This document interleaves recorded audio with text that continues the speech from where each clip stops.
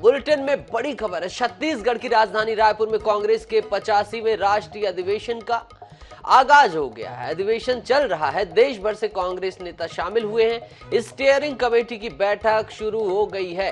राष्ट्रीय अध्यक्ष मल्लिकार्जुन खड़गे इसकी अध्यक्षता कर रहे हैं। स्टेयरिंग कमेटी की बैठक में महत्वपूर्ण नीतियों पर चर्चा की जाएगी। शाम चार बजे सब्जेक्ट कमेटी की बैठक होगी, जहाँ छह प्रस्तावों पर चर्चा होगी। कांग्रेस अध्यक्ष मल्लिकार्जुन खड़गे ने कहा है कि हमारे सामने ये मौका है कि नया रायपुर को भी हम इतिहास में तरह दर्ज करा दें, ताकि आने वाले समय में यह हमें रास्ता दिखाता रहे। छत्तीसगढ़ के इतिहास में कांग्रेस का यह महाधिवेशन आधा दर्जन राज्यों के विधानसभा चुनावों और उसके बाद 2024 के आम चुनावों की पृष्ठभूमि में हो रहा है। हमारे सामने एक बड़ी चुनौती भी है और एक बड़ा अवसर भी है। मल्लिकार्जुन खड़गे, राष्ट्रीय अध्यक्ष कांग्रेस के कह रहे हैं कि आपदा के बीच एक अवसर के रूप में निकाला जा सकता है नवा रायपुर।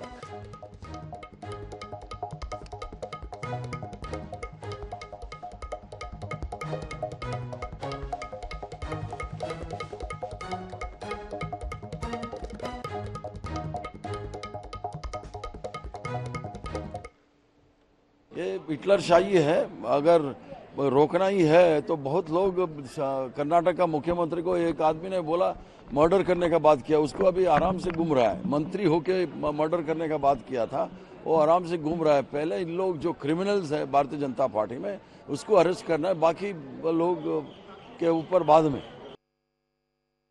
अधिवेशन तो प्लीनरी सेशन है तो हमेशा होते रहता है। आगे जो रूपरेशा होना है देश में, जो देश का हालात है जो नरेंद्र मोदी जी आजकल कर रहा है, पूरा तानाशाही, हिटलरशाही कर रहा है, उसके बारे में आगे क्या करना है करके सोचेंगे सेशन में। पूरा देश का हालात के ऊपर चर्चा होगा, राजनीतिक चर्चा होगा, सामाजिक क्षेत्र का चर्चा होगा, और विदेशांग नीति पर चर्चा होगा पॉलिटिकल इकोनॉमिकल और एक्सटर्नल अफेयर्स का चर्चा होके पूरा देश का चर्चा होंगे।